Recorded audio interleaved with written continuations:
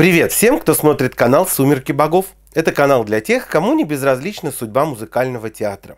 Мы продолжаем брать интервью у артистов, которые сегодня находятся в достаточно бедственном положении и вынуждены ждать, когда вновь откроются театры и концертные залы. До сих пор мы разговаривали с артистами, которые живут в Европе, но сегодня настал черед артиста, который решил проходить карантин в Москве. Речь идет об известном теноре Дмитрии Корчаке. Митя, здравствуй! Привет, Вадим, привет наши все зрители, подписчики, друзья, любители оперы. Спасибо тебе большое, что ты согласился на это интервью. Я до этого все время беседовал с артистами, которые сейчас в Европе. А ты вот предпочел приехать в Москву, здесь проходить всякие карантины. Э, с чем это связано? Э, ну, слушай, я был э, недавно в Америке, успел оттуда вернуться в Европу, в Вену.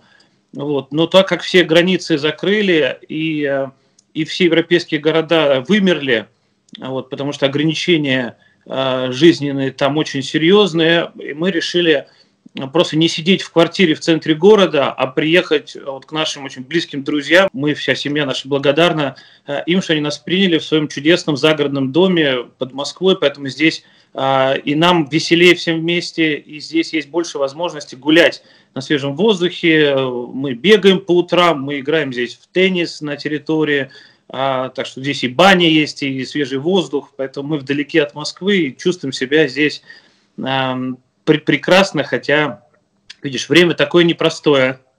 Да, я вчера как раз раз беседовал со Светой Аксеновой, с которой вы вместе начинали репетировать Онегина в Америке. Вот так сложилась жизнь, и этот проект у вас отвалился. А много ли у тебя еще отвалилось других проектов? Все э, отвалилось, как ты сказал. А, во-первых, 6 апреля должен был быть концерт после Америки в Большом театре а, с фондом Чулпан Хаматовой и Кириллом Серебренником как постановщиком. А, вот этого не будет, по крайней мере, это переносится. Я еще в надежде, что 29 апреля состоится все-таки концерт с оркестром Владимира Спивакова и с ребятами из молодежной программы Большого театра в Москве. Пока еще его не отменили, но мы ждем. А, не будем загадывать, по крайней мере, я а, все карантинные сроки пробуду здесь в Москве и буду при хорошей обстановке, буду готов уже репетировать с ребятами к этому концерту. Я просто поясню, потому что не все знают, что ты давно и успешно работаешь и как дирижер, и я так понимаю, в этом концерте ты будешь именно дирижером. Я буду дирижировать, да, и а, у меня даже после апреля и в мае, и в июне еще несколько концертов а, в том числе и в Москве, а, допустим, год Бетховена, сейчас у меня с Российским национальным оркестром будет, а, должен быть концерт с программой Бетховена целиком.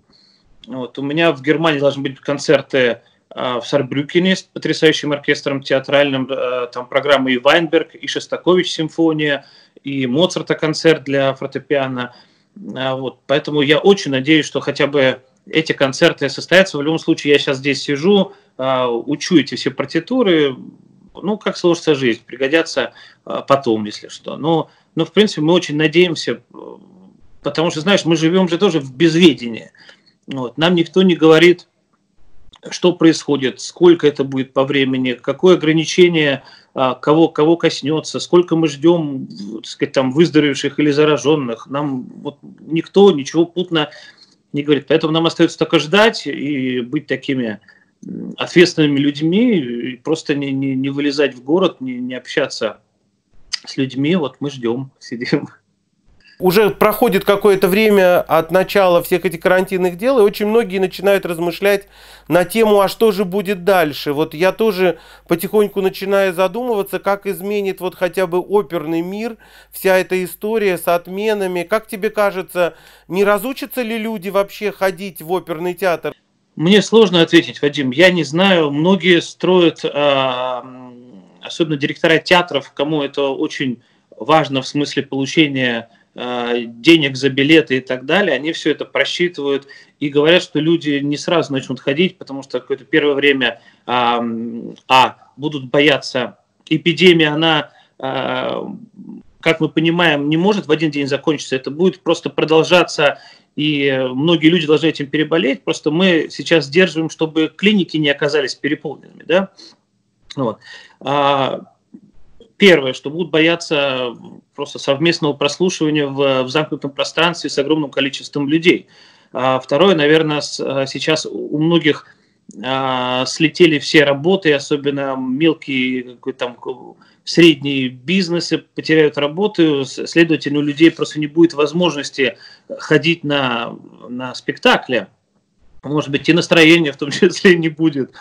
Вот. Ты знаешь, я вот, мне очень много запросов присылали на эти какие-то онлайн-концерты а, и так далее. Я сейчас, я сейчас пока не, не в том скажем так, настроение. Мне кажется, что сейчас, сейчас вот внутренне мне, мне хочется немножко отстраниться от музыки. Вообще я э, сижу с семьей, занимаюсь какими-то домашними делами. Я в Вене даже перед поездкой в Москву успел дома люстры все помыть, окна, когда, когда я это делал последний раз, понимаешь, да? Вот. Но вот какими домашними делами взял за, за последнее время, тоже не помню, когда я брал реально э, книжку бумажную с, с литературой, не касающейся опер, понимаешь, и моих, и моих всех прочтений партий или оркестровых произведений, да, с исторической точки зрения, а просто элементарно художественную литературу. Вот я сейчас сижу, наслаждаюсь, оторвать меня от книжки невозможно. Я загрузил ноты Э, в iPad э, фортепианной музыки, которую я играл когда-то, и вот сижу сейчас, вспоминаю, пальцы бегают по клавишам, получаю огромное наслаждение. Поэтому э, я, я лично, может быть, может быть, из-за профессии, которая связана была ежедневно с музыкой, я немножко сейчас отстраняюсь от нее и слушаю в фоновом, фоновом режиме. Вот. А так, кто, кто знает, может быть, ты лучше ответишь на этот вопрос, будет ли ходить народ в оперу. Я, я думаю, что если мы сейчас сделаем перерыв, то люди будут, будут конечно, приходить, а, потому что слушать только в Ютьюбе э, не всегда, не всегда выход из положения. Мы все-таки театр любим за, за э, чистые голоса, не без звукозаписи, правильно, за чистые эмоции натуральные.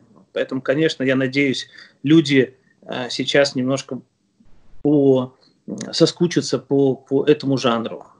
Да, это точно. Я по себе чувствую, что там за 3-4 первых дня я уже опух совершенно от просмотра видеозаписей опер, старых, э, может быть, прекрасных, потому что некоторые артисты выглядят лучше, чем сегодня на них.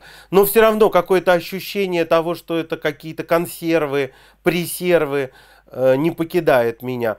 Но, собственно, из твоих слов и слов еще многих других музыкантов я понимаю, что э, скорее главной проблемой после карантина будет это вам уже не очень захочется вернуться. Весь конвейер, в котором вы находились вот всю свою жизнь творческую, он сегодня вдруг остановился, и понятно, что э, ну, как бы паузы тоже надо делать, правильно?